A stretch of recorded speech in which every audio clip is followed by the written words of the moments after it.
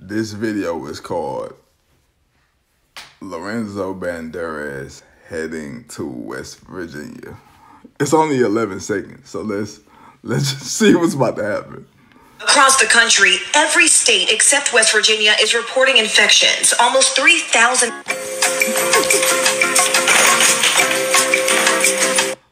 he is so stupid, man.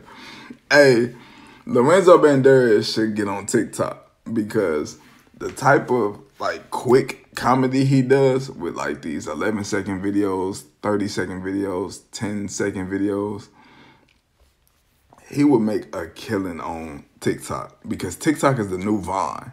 So I felt like if he got on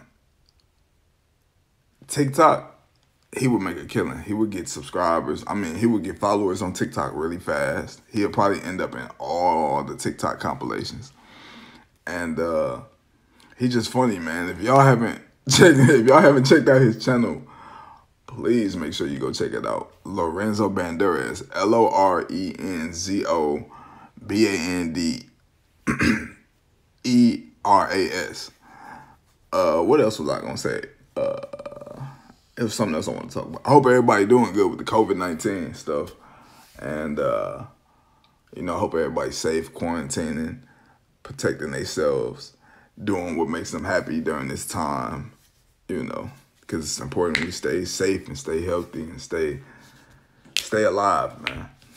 But yeah, Lorenzo Banderas should really join TikTok because he is hilarious. I swear to God.